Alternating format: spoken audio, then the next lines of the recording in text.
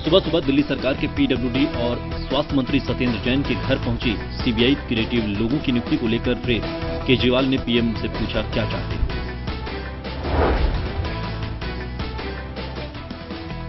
नगर में रबड़ के गोदाम में लगी आग बुझी, करीब 17 घंटे तक चला ऑपरेशन फायर।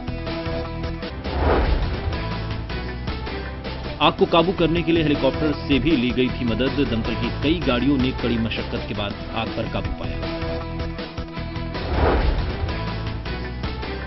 दिल्ली के बुराड़ी इलाके में कपड़े के गोदाम में लगी आग, सुबह चार बजे लगी आग।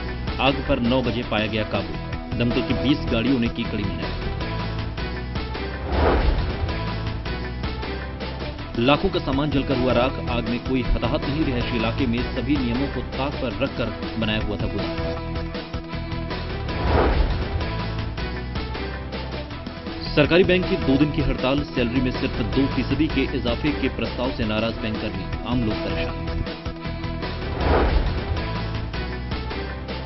हड़ताल की वजह से कई बैंकों की शाखाओं के कामकाज पर असर पड़ेगा।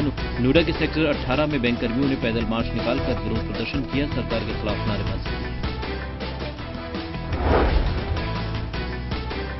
पेट्रोल डीजल की कीमतों पर कटौती के नाम पर जनता से ठगी, सिर्फ़ एक पैसे ही कम हुआ दाम, पेट्रोलियम मंत्रालय ने मानी चूक